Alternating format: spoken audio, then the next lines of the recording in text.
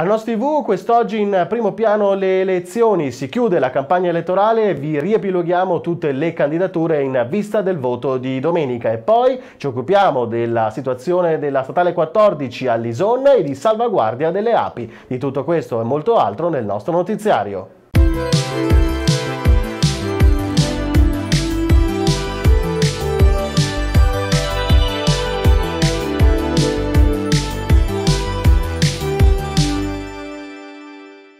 Ritrovati dalla redazione di Nos TV, apriamo il nostro notiziario occupandoci delle ormai imminenti elezioni. Sono le ultime ore, gli ultimi fuochi della campagna elettorale per le elezioni europee e per quelle amministrative. Stasera gli ultimi comizi, poi dalle 24 scatterà il silenzio elettorale. Domenica si vota dalle 7 alle 23. Nel Veneto orientale saranno oltre 207.000 gli elettori chiamati alle urne per le europee, più di 36.000 i cittadini cittadini al voto per le comunali, ma sentiamo il riepilogo delle candidature nel nostro servizio di apertura. Dopo un mese di dibattiti, confronti, discussioni e liti, finalmente la parola passa agli elettori. Domenica si aprono le urne anche nel Veneto orientale, si vota dalle 7 alle 23 per le elezioni europee, ma anche per l'elezione dei sindaci e dei consigli comunali in nove comuni del territorio. Per le europee, nei comuni del Veneto orientale sono chiamati alle urne 207.849 elettori. Le amministrative nei nove comuni interessati coinvolgeranno invece nel complesso 36.400 407 elettori. Vediamo dunque le sfide nei singoli comuni partendo dal San Donatese. A Meolo è sfida a tre tra la sindaco uscente Loretta Liprandi con la civica di centrosinistra Uniti per Meolo e due candidati di area centrodestra, Daniele Pavanna sostenuto da Lega, Forza Italia e Fratelli d'Italia e Massimo Mazzonna candidato di Scelgo Meolo. Tre gli sfidanti anche a Fossalta di Piave, la maggioranza uscente della civica La Piave, sostenuta da Lega e Forza Italia, candida l'attuale vice sindaco Giampietro Zaramella. A sfidare sfidarlo sono Marrico Finotto di Fossalta Viva per il bene comune e l'ex assessore Alessandra Sartoretto alla guida dell'omonima civica. A Ceggia il sindaco uscente Mirko Marin corre per un secondo mandato con la lista impegno e partecipazione. Il Movimento 5 Stelle schiera Piera Semenzato, mentre la lista civica Ceggia candida sindaco Mambrino Scalon. Nel Portoguarese il comune più grande al voto è Concordia Sagittaria, dove si affrontano il sindaco uscente Claudio Odorico con la lista per Concordia Claudio Odorico sindaco e Franco Zanon di Progetto Concordia. A Fossalta di Porto Gruaro il primo cittadino uscente, Natale Noel Sidran, corre per un secondo mandato con la lista civica con Fossalta, mentre al Vise Innocente il candidato di Insieme per Fossalta. Ad Annone Veneto il confronto nelle urne sarà tra il vice sindaco uscente Andrea De Carlo, che raccoglie il testimone della lista di maggioranza uscente Insieme per il Paese, e Victor Luvison di Mi Piace Annone, sostenuta da Lega, Forza Italia, Fratelli d'Italia e UDC. A Cinto Cao Maggiore il sindaco uscente Gianluca Falcomer ci riprova alla guida della civica lista Cao Maggiore, la sua sfidante Emilia Vida di Cinto Futura, appoggiata da Lega, Forza Italia e Fratelli d'Italia. Sfida 2 anche a Teio Veneto, punta a raccogliere il testimone della maggioranza uscente Oscar Cicuto della lista civica Il Tiglio, Mario Geremia, e invece il candidato sindaco di Teio Veneto Vivere Comune. Infine a Gruaro punta a un nuovo mandato il sindaco uscente Giacomo Gasparotto con la lista civica per Gruaro Faro, mentre Ernesto Gianni Nosella è il candidato sindaco di Cittadini Responsabili.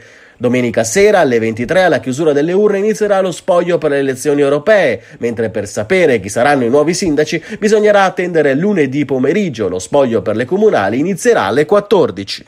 Cambiamo pagina, ci occupiamo di lavori pubblici nel Porto Guararese perché sono in corso in questi giorni i primi rilievi tecnici di ANAS per la messa in sicurezza della strada statale 14 a Lison. L'intervento è da tempo richiesto dalla cittadinanza e nel corso di questi mesi il comune di Porto Gruaro era in trattativa con l'ente per definire il progetto. Sentiamo allora i dettagli nel prossimo servizio. C'è finalmente una buona notizia per la messa in sicurezza dell'incrocio sulla statale 14 a Lison di Portogruaro. Personale incaricato da ANAS ha infatti effettuato nei giorni scorsi il primo sopralluogo per i rilievi all'incrocio tra la statale e via Attigliana, dove verrà presto realizzata una rotatoria.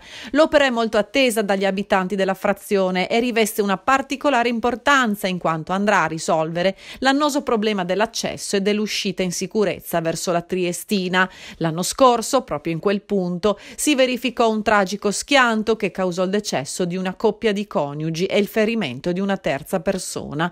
Dopo diversi incontri e tavoli tecnici, ha commentato il sindaco Maria Teresa Senatore, si è addivenuti all'auspicata decisione di costruire la rotatoria. Vedere i lavori che prendono il via è una grande soddisfazione. La messa in sicurezza di quel tratto di strada è un obiettivo che questa amministrazione ha perseguito con tenacia. Ringrazio ANAS per lo sforzo compiuto e per aver voluto come ente proprietario della strada farsi carico dell'opera che avrà una grande valenza per il territorio di Lison e per tutti coloro che quotidianamente percorrono la statale 14. Una notizia di turismo dal litorale, Mirko Zanchetto e Franco Polato, entrambi imprenditori di Jesolo, sono stati eletti rispettivamente presidente provinciale della FIVA, Federazione Italiana Venditori Ambulanti, e del SILB, il sindacato italiano locali da ballo. L'elezione provinciale dei sindacati di categoria è avvenuta nella sede di Confcommercio Unione Metropolitana di Venezia. Intanto proprio Confcommercio ha organizzato per martedì prossimo nella sede di Jesolo il consueto incontro con i rappresentanti delle forze dell'ordine per affrontare assieme le tematiche più importanti alla vigilia dell'inizio della nuova stagione turistica. Il comune di Musile di Piave propone un'iniziativa per salvaguardare le api grazie alla distribuzione della facezia, un fiore attrattivo per l'insetto. L'obiettivo è quello di sensibilizzare e contribuire efficacemente alla sopravvivenza degli insetti pronubi. La manifestazione è in programma domani mattina, sabato 25 maggio, appunto a Musile di Piave, nel corso della quale si consegneranno i semi nei gazebi allestiti dalle 10.30 alle 12 in tutte le frazioni e in centro. Gli amministratori saranno a disposizione a Musile, Caposile, Croce Mille Pertiche per la seconda edizione dello Zanzara Day, dove i cittadini potranno recarsi per ricevere in maniera gratuita le compresse antilarva, mostrando il proprio documento d'identità. Sempre sabato mattina, ma alle ore 10, nella Sara Fallaci del Centro Culturale Bressanin Sicara, è in programma inoltre una conferenza dal titolo Aiutiamo le api con un fiore, lo straordinario percorso di una goccia di miele. L'iniziativa è organizzata dal Comune di Musine di Piave con gli apicoltori di APAT. E a Jesolo invece mercoledì 29 maggio alle 11 si terrà un incontro pubblico per parlare di lotta alle zanzare, per presentare ai cittadini le misure messe in campo dall'ente per la disinfestazione e fornire ai privati consigli utili per contribuire al contenimento della proliferazione degli insetti. Ma sentiamo i dettagli nel servizio. Essere informati per proteggersi e contribuire attraverso buone pratiche e abitudini ad una sorta di immunizzazione collettiva e questo è l'obiettivo dell'incontro pubblico insieme contro le zanzare del prossimo 29 maggio alle ore 11 nella sala rappresentanza del municipio di Jesolo a cui parteciperanno oltre agli uffici preposti anche il Dipartimento di Prevenzione dell'azienda ULS 4 Veneto Orientale con il direttore Luigi Nicolardi, rappresentanti di Veritas e Gico System, società quest'ultima che effettuerà i trattamenti di disinfestazione sul territorio comunale.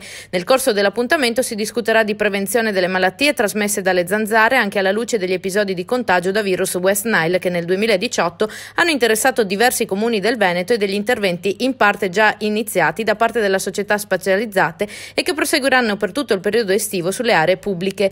La parte più importante dell'incontro sarà comunque incentrata sulle cosiddette misure di autoprotezione, vale a dire quelle azioni che i singoli cittadini possono mettere in atto per tutelare se stessi e contribuire in modo sensibile al contenimento del fenomeno delle zanzare, un principio necessario considerando che solo il 20% circa del territorio di Jesolo è pubblico e che il restante 80% è fatto di proprietà private su cui le ditte incaricate non possono operare. La parte più efficace del contenimento delle zanzare si attua tramite interventi larvicidi e i cittadini possono richiedere gratuitamente le apposite pastiglie di biocida antilarvare messe a disposizione da Veritas SPA anche presso gli uffici di Alisea. A Caorle è stata appena inaugurata la seconda edizione di Gusta alla 500, tante novità quest'anno per la manifestazione che fa da contorno alla partenza della 500, la prestigiosa regata organizzata dal Circolo Nautico Santa Margherita. Ma ascoltiamo i dettagli nel prossimo servizio. Una speciale edizione di Sardegna in Grea è l'appuntamento principale di questa prima giornata di Gusta la 500, la manifestazione che questo fine settimana accompagnerà Caorle verso la partenza della 500, la più importante regata d'altura dell'Adriatico.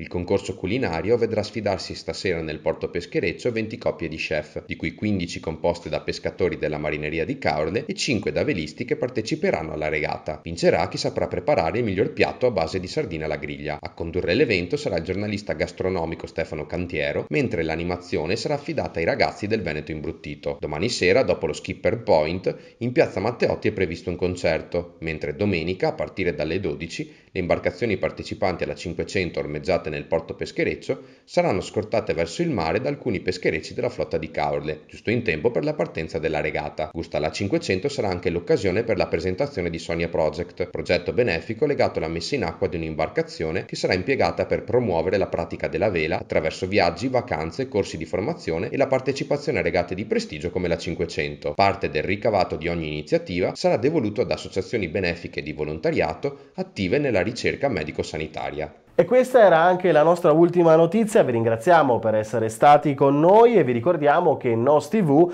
è presente su Facebook, YouTube e Instagram e sul canale il 13 TV, disponibile sul tasto 13 del vostro telecomando sul tasto 605. Dalla redazione di NOS TV un grazie per l'ascolto e un arrivederci alle prossime edizioni del nostro notiziario.